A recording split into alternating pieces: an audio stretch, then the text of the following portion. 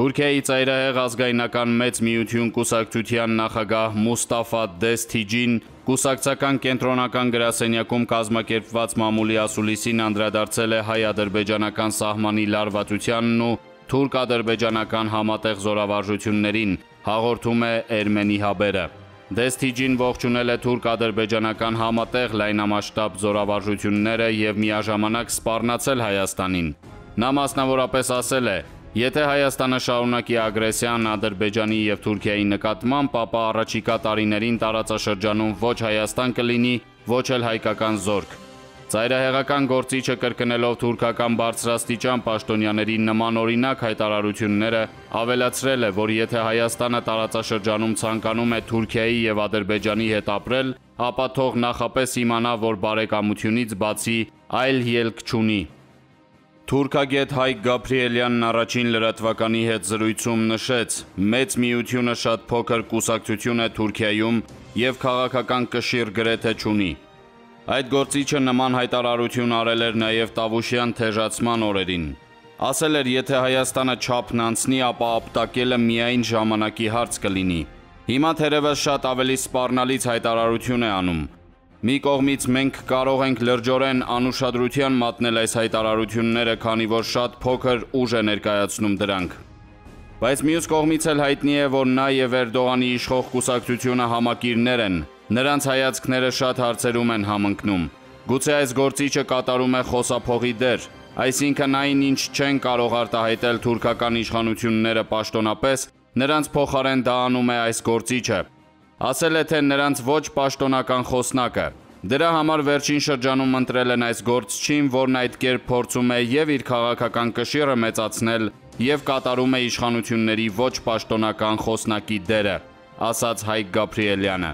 Այս կուսակցությունը շատ փոքրաթիվ է։ Թուրքիայի 600 հոկանոց խորհրդարանում ունի ընդամենը 1 падգամավոր, քաղաքական առանձնակի կշիռ չունի։ Մշտապես եղել է աննշան ֆիգուր, ասում է թուրքագետը։ Որևէ հարց լուծող կուսակցություն չէ, որևէ կշիռ ունեցող կուսակցություն չէ, լուրջ ընտրազանգված ունեցող կուսակցություն չէ։ Բայց վերջին շրջանում մերձեցել է Էրդողանի կուսակցության հետ եւ ես վտանգն այս առումով եմ տեսնում։ Նա կատարում է իշխանությունների ոչ պաշտոնական խոսնակի դերը, ընդգծեց առաջին ԵՄ-ի զրուցակիցը։ Հարցին, եթե հաշվի առնենք, որ այս գործիչը իշխանությունների ոչ պաշտոնական խոսնակն է եւ նման հայտարարությունները համարվում են Թուրքիայի իշխանությունների տեսակետը, ապա այս դեպքում Հայաստանի կողմից որևէ արձագանք պետք է լինի այս սպառնալից հայտարարություններն ինչ հնարավոր վտանգներ են իրենց մեջ պարունակում, Գաբրիելյանը պատասխանեց. Կարելի է կամ անտեսել կամ ոչ պաշտոնական մակարդակով պատասխանել ինչպես իրենք են անում։ Իսկ ընդհանրապես խնդիրը հետևյալն է. Տավուշյան թեժացումը շատ լուրջ հարված է հասցրել բացի Ալիևի իմիջից, նաև Էրդողանի իմիջին։ Ինչ առումով։ Նա 2019 թվականի հունվարին հայտարարում էր, որ 1990-ականների Թուրքիան թույլ պետություն էր, հզոր չէր եւ հետեւաբար չկարողացավ կանխել Ղարաբաղի ճակերտավոր օկուպացիան։ Մյուս կողմից իրենք անընդհատ հայտարարում են, որ այս նոր Թուրքիան ամենահզորն է վերջին 300 տարվա կտրվածքով։ Փաստորեն Էրդողանը, որը սադրում կամ հեգնում էր հին Թուրքիայի իշխանություններին, որոնք չեն կարողացել իր խոսքով խանգարել Ղարաբաղի ճակերտավոր օկուպացիան, Հիմա իր հզոր Թուրքիայով չկարողացավ կանխել Ադրբեջանի դիրքային կամ տարածքային կորուստները։ Իհարկե այսօրվա կորուստները համեմատելի չեն 90-ականների կորուստների հետ, բայց եւ այնպես։ Եվ պատահական չէր, որ իր պաշտոնական խոսնակը հուլիսի 27-ին հայտարարեց, որ իրենք դիմել են Պուտինին, որ օգտագործի իր ազդեցությունը Հայաստանի վրա եւ կանգնեցնի։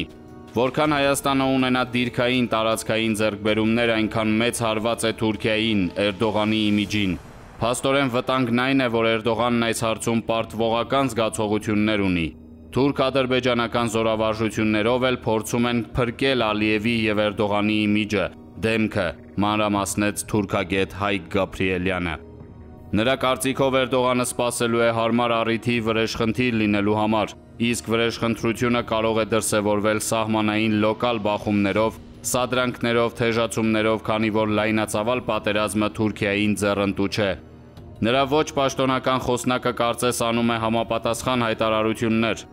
Ես համոզված եմ, որ Թուրքիային ձեռնտու չէ մասշտաբային պատերազմ հարավային Կովկասում։ Թուրքիան Ադրբեջանի դաշնակիցն է, Ռուսաստանն էլ Հայաստանի։ Եթե մասշտաբային պատերազմ է սկսվում, մի երկիրը խորանում է մյուս երկրի տարածքի մեջ, գրավում է արդեն երկու երկրները Թուրքիան եւ Ռուսաստանը պետք է կամ անմիջապես դադարեցնեն այդ ամենը, կամ ներքաշվեն պատերազմի մեջ։ Կարծիք հայտնեց մասնագետը հավելելով, որ ինքը գրեթե բացառում է մասշտաբային պատերազմի հավանականությունը։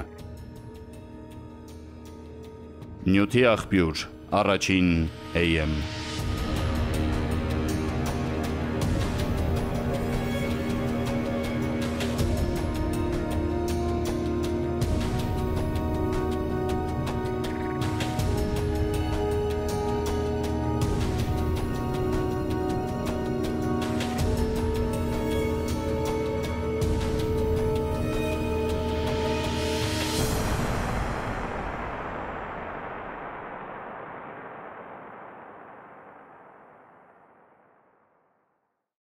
Ես վստահ եմ, որ Ալիևը շատ կցանկանար կրկին անցնել ռազմական գործողությունների, կասկած չունեմ դրանում, բայց այս պահին դա նրան չի կարող հաջողվել, որովհետև Տավուշի դեպքերից հետո Ալիևը հասկացավ, որ նմանատիպ կորուստների հետևանքով ինքը կարող է նույնիսկ իշխանությունը կորցնել։ Դա շատ է բարկացնում ադրբեջանցի ժողովրդին եւ այդ պարտությունների համար մեղավորներ են փնտրվում, իսկ Ալիևի քարոշչական թեզերն արագորեն պայթում են, ուստի բնականաբար մենք պետք է պատրաստ եւ զգոն լինենք։ Այդուհանդերձ այս պահին Ալիևը փոքրինչ փորձում է լարվածությունը տեղափոխել այլ դաշտ, ինչպիսիք են միջ համայնքային բախումներին ուղված ադրբեջանական սադրանքները կամ թուրք-ադրբեջանական զորավարժությունները։ Այսինքն քարոշչական շղարշ է ուզում հաղորդել, ցույց տալով, որ մենք չենք հանգստացել, պահում ենք լարվածությունը եւ դրանով փորձում է թոս փչել սեփական ժողովրդի աչքերին բայց ավելի լայնամասշտաբ գործողությունների գնալն այս փուլում հենց իր համար հերանեկարային չի լինի։ Ռուսաստանի արտգործնախարարության հանրային կապերի դեպարտամենտի ղեկավարի տեղակալ Զայցևը հայտարարել է, որ Մոսկվան շարունակում է ջանքեր գործադրել հայ-ադրբեջանական հակամարտության լարվածությունը թույլատնելու նպատակով կողմերի միջև երկխոսության ուղղությամբ։ Հայտնի է, թե այդ ջանքերն ինչին են ուղված եւ արդյոք Մոսկվային հաջողվում է դա թե ոչ։ Ոչ մեկիս համար գաղտնիք չէ, որ Ռուսաստանն ակտիվ դերակատարում ունի Արցախի հակամարտության կարգավորման միջնորդական ջանքերում։ Դա դրսևորվեց նաև Տավուշյան դեպքերի ժամանակ։ Դրա մասին առիթ է ունեցել խոսել նաև Հայաստանի Հանրապետության վարչապետը։ Ռուսաստանը լինելով Հայաստանի ռազմավարական դաշնակիցը միաժամանակ Լեռնային Ղարաբաղի հարցով բանակցային գործընթացով զբաղվող ԵԱՀԿ Մինսկի խմբի համանախագահող երկրներից մեկն է, Ոստի շատ ավելի զգուշավոր է իր հայտարարություններում հավատարիմ մնալով նաև միջնորդի իր դերին։ Բայց բնականաբար Ռուսաստանը կարևոր նշանակություն ունի եւ կարևոր դերակատարում է խաղում տարածաշրջանում կայունության պահպանման եւ այլ ուժերի ախորժակը զսպելու տեսանկյունից։ Կարծում եմ խոսքը գերազանցապես հենց դրա մասին է։